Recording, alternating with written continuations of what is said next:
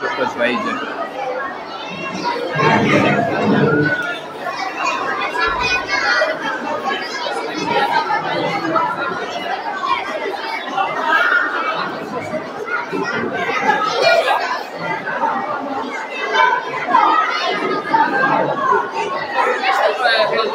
Ale nie, jeszcze nie, bo pan mówił, że na rozpoczęcie.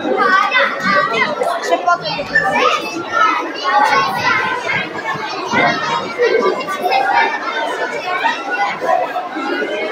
you.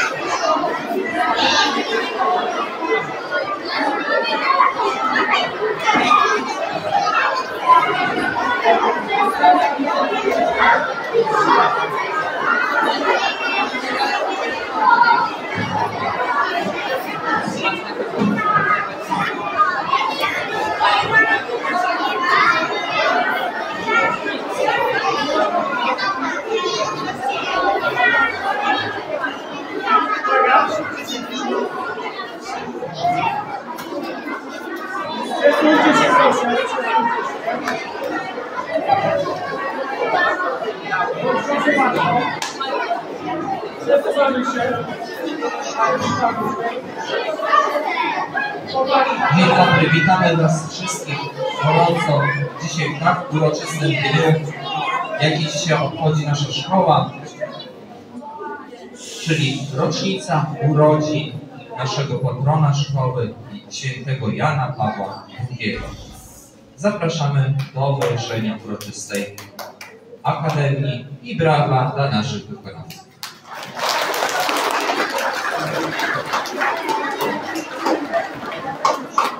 Serdecznie witamy wszystkich na urodzinach Jana Pawła II, patrona naszej szkoły.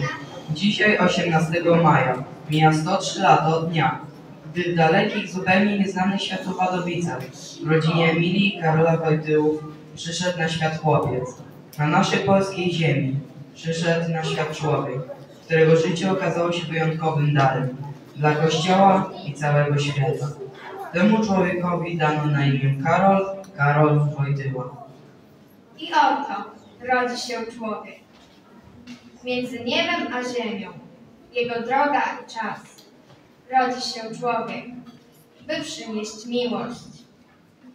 Dzisiaj wszyscy jesteśmy gośćmi na tych zwyczajnych, a jakże niezwykłych urodzinach. Pragniemy przypomnieć najważniejsze wydarzenia z biografii patrona naszej szkoły. Oddajmy głos solenizantowi, jego przyjaciołom i gościom. Prosiłem Boga o wodę, dał mi ocean. Prosiłem Boga o kwiaty, dał mi ogród. Prosiłem Boga o drzewo, dał mi las. Prosiłem Boga o przyjaciela, dał mi Ciebie. Urodziłem się w tym czasie, kiedy bolszewicy szli na Warszawę. Polska była bardzo zagrożona.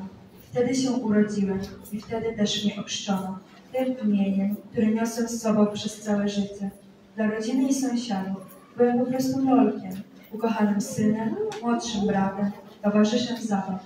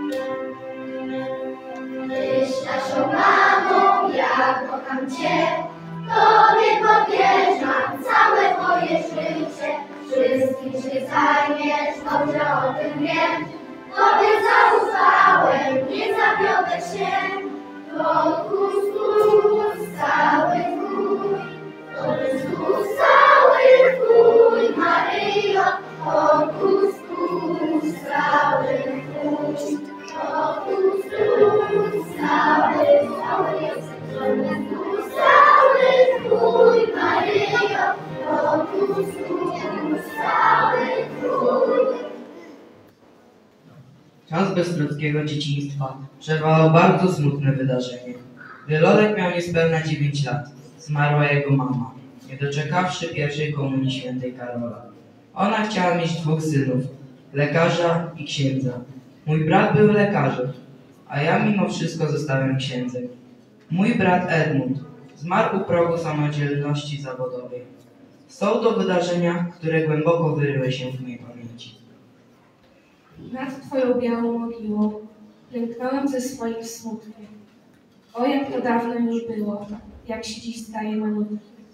Nad Twoją białą mogiłą, o Matko, zgasłe kochanie, me usta szeptały bez siłą, daj wieczne odpoczywanie. Wybuch II wojny światowej 1 września 1939 roku zmienił plany Karola. Musiał przerwać studia polonistyczne w Krakowie i rozpocząć pracę jako robotnik w kamieniołomie. Teatr i literatura wciąż pozostały jego pasją. Posłuchajmy wspomnień jednego z przyjaciół Karola Wojtyły.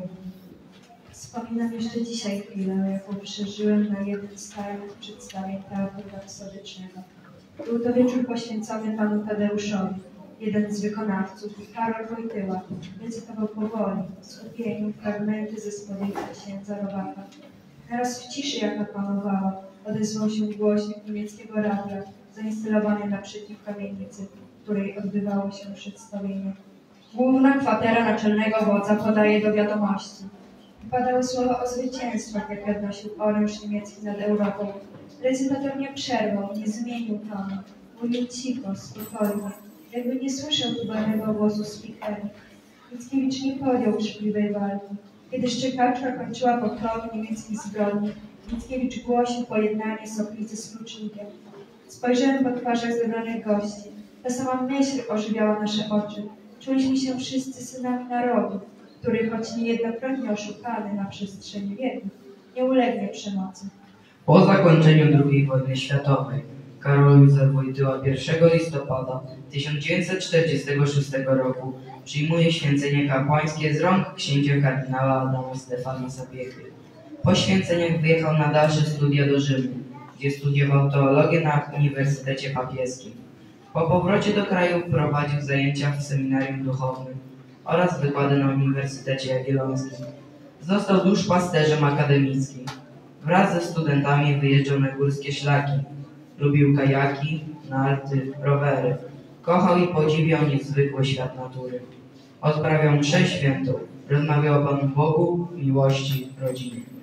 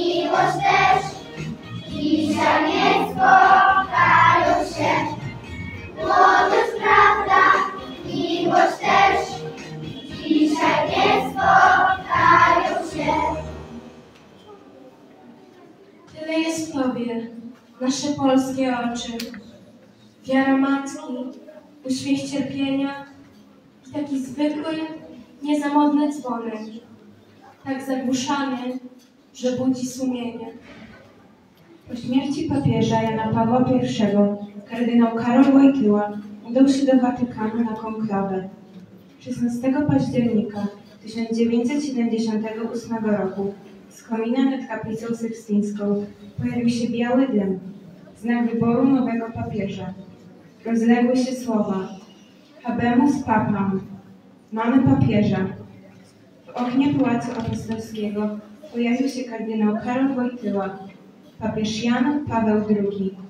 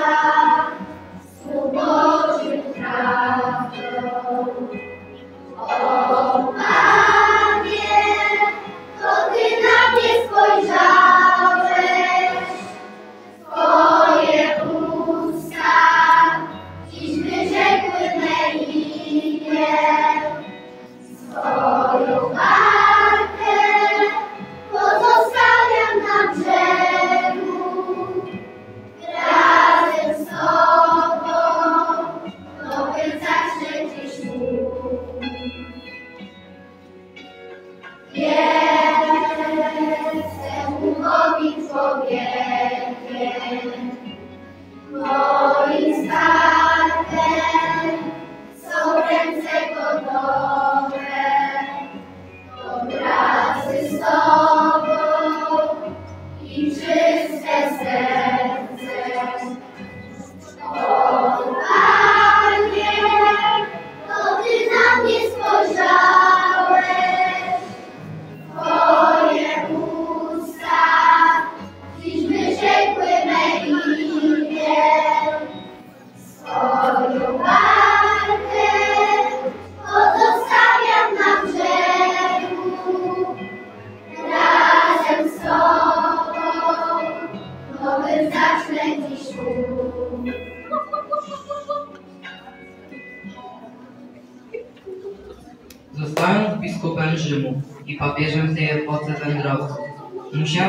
ja wędrowcem, powtarzał często.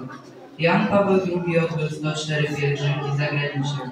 Odwiedził 129 krajów, w tym ośmiokrotnie naszą ojczyznę. Podczas swoich podróży pokonał drogę równą trzykrotnej odległości z Ziemi na Księżyc. Wygłosił ponad 2300 przemówień i kazań. Bez wojska, bez broni, za pomocą serca i słowa. Jan Paweł II otwierał drzwi, zwyciężał zło, walczył o pokój, walczył o człowieka, jego prawo do wolności i godności. Był papieżem, który wyszedł ze swoją nauką poza mury Watykanu. Niestrudzenie przemierzał cały glob, aby dotrzeć nawet tam, gdzie wcześniej nie znano jego imienia. Ten skromny człowiek, pełen wiary i miłości, mówiący do ludzi w ich języku, szanujący ich obyczaje, był przyjmowany jako najdroższy gość, jako posłaniec dobrej nowiny. Szczęśliwy dzień urodzin.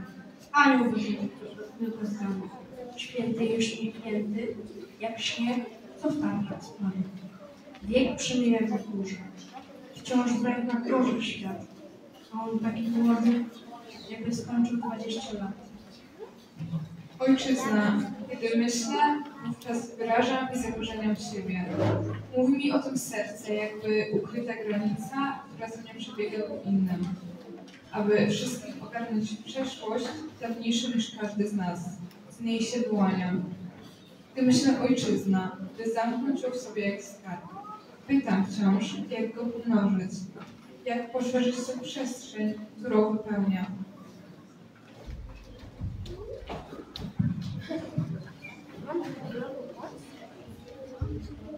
Wybacz, że nie było tortu ani podarunków, drogich prezentów, słonych rachunków, przyłączonych przechwałek i wyliczeń, co się spełniło z wielkiego spisu życzeń. A cóż my możemy dzisiaj Ci ofiarować?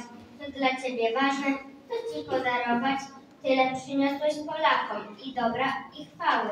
Dzięki Twojej mądrości pokolenia ocalały. Kochałeś świat i ludzi, potrafiłeś wybaczać, od siebie wymagałeś, jak drogi życia wyznaczać. Wędrowałeś w swej służbie bez westchnienia, uczyłeś nas dobroci, nadziei i cierpienia. Zachowamy zawsze pamięć o Tobie serdeczną, radość Twojej posługi i modlitwę wieczną, aby sił nam nie zabrakło i w czynie, i słowie służyć światu miłością w każdej życia dobie. Dziękujemy za wysłuchanie.